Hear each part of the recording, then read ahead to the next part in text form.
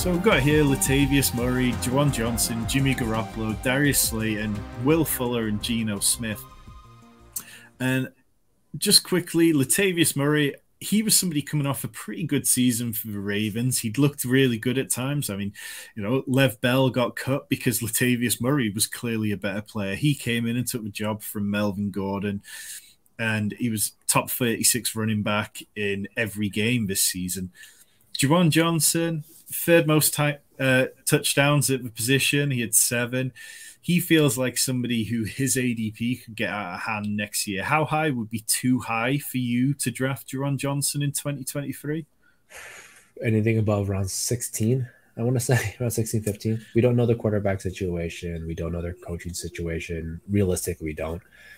Who, who knows what that team's going to do? Um, but I, if he was better, I think Taysom Hill would be a lot worse for fantasy. And I think that the fact that Taysom Hill is so relevant kind of just makes me not trust Juwan Johnson. Anything about round 15 is where I ended at.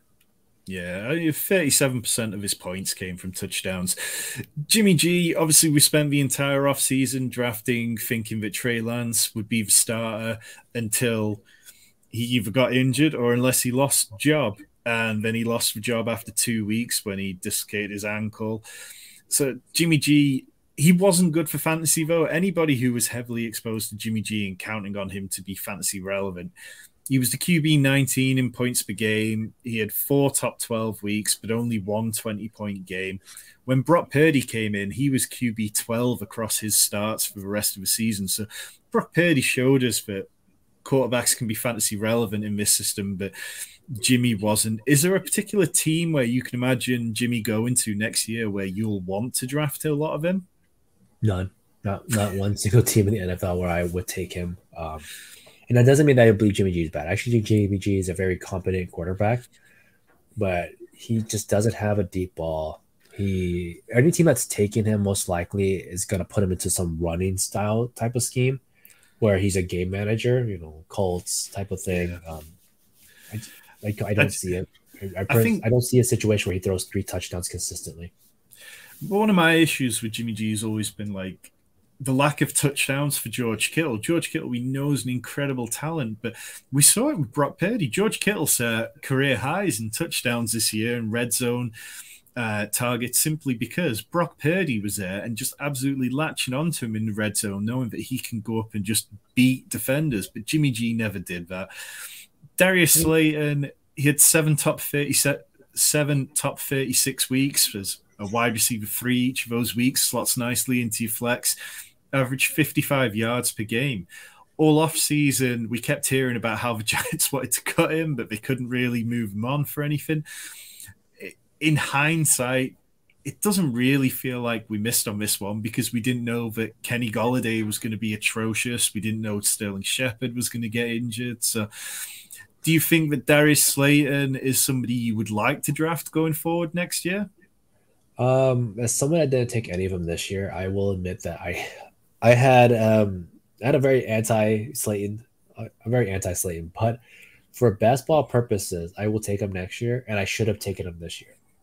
If you ever look at the the Giants roster from this year, you know he was at least the wide receiver on this team, give give or take, right? Like Kadarius Toney was often on injured, Kenny G was often on injured, Sterling Shepard was often on injured, and there was no scenario where all three of those guys were playing at the same time. I just I just don't see the scenario coming into the year going, who's their wide receiver three? And it should have always been the answer is Darius Slayton, who is the healthiest guy on that team at the time, who is also the deep threat for that team. I, I think we got that wrong. I think if I had to redo it, I think signing a ton of Dar- I, Darius Slayton would have been the move. Yeah, uh, and I think next year will be the same situation. I think Darius Slayton, if he's still on this team, you know, Richie James Jr., Isaiah Hodgins, whoever they draft, I think Darius Slayton finds himself to be that deep threat. And as long as he gets you contribution weeks, I don't think it matters uh, how often they come. But you cannot tell me that if Darius Slayton's on the field for all the snaps, that you don't believe that he's going to provide some fantasy relevancy. Yeah. One player who had absolutely zero fantasy relevance, Will Fuller. I've got here his underdog average ADP from across the whole of last offseason, May through to September, from my friends at Rotoviz here. And I didn't draft any round 18 Will Fuller because I was drafting Will Fuller in kind of round 12, round 13, and I was going, well, we know what Will Fuller is. When Will Fuller's healthy, Will Fuller is going to give us big fantasy weeks. And I don't care at this cost whether he's injured at times because when he's healthy, he's going to be great. But as it happens, I mean, Will Fuller has just, you know, completely disappeared off the face of the planet. Was Will Fuller somebody you drafted a lot of, Davis? No, no, no, no. I'm not a Will Fuller guy. Uh, I I bit the bullet one year, and that was last year when he went to the Dolphins. I was like, oh, you know, he actually might be the best receiver on our team. He's gonna put up. God, he played what five snaps or something, and it just never came back. Like two receptions. I, I think I was at that game that he just left, and never came back. like it was so bad, and I remember just going like I knew it. I should I should have seen it. You know, injury prone's a thing. Um, I, I think William Fuller, you know, Will Fuller, how he it, Will I am Fuller is what I'm start calling him. I just he's someone I just cannot draft. I don't think I think anyone that was drafting him in August, even July, I think you were just just chasing a pipe dream. There's no there at this point. What is he? What was he going to do? You know, he's already you know he got busted for steroid usage, can't stay on the field. I yeah, I, the reason I wanted him on this list too is just I, I want people to remember that you, your 18th round picks, your undrafted picks, these guys do actually matter. And we listed a bunch of guys right now that end up panning out. Um, and Will and Fuller, who wasn't even on the team, are the same guys that took Gronk, are the same guys that took just these guys that were, hey, maybe he comes back and he helps win this season. Like, no, they didn't. So I just really like to keep that pointed out. If they're not on a team by mid July to early August, like just move on. Like do not waste your picks because those those picks matter down the road. Yeah. I, I think hitting on your late round picks particularly is such an important part. And it's why I kind of tend to preach spreading out your exposure, particularly at this end of the draft. It can really matter because one player who I didn't have anywhere near enough of was Geno Smith. Finished as the QB8 on the season, 10 top 12 performances, only five games below 16 points. And we saw across the early point of the season, he was absolutely dominating in efficiency metrics. He didn't manage to keep that going the whole year.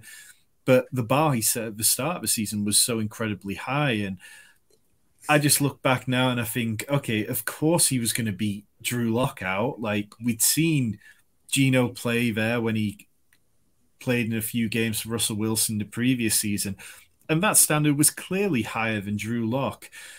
Yeah, Geno Smith definitely one of my biggest misses of this year. Major miss on my part. I, I didn't believe in Geno Smith. Um, and like I said, this compares to the Will Fuller situation. Like this guy has a job. Quarterback is the easiest position to get some contribution out of, right? The fact if you can't contribute there, it just it just means that you weren't fancy relevant at all. So I I think that someone like Geno Smith, Samaje Perine, any of these other guys that you could have taken make way more sense than taking Will Fuller. Um, so, you know, props to Geno Smith for having a great year. I wasn't sold on him. I didn't believe that there was enough for him to be fantasy relevant. And I think we saw some of his weeks kind of fall off at times. He's very minimalistic, but um, he great. He made he made gave us Tyler Lockett and DK Metcalf at a at overall good value.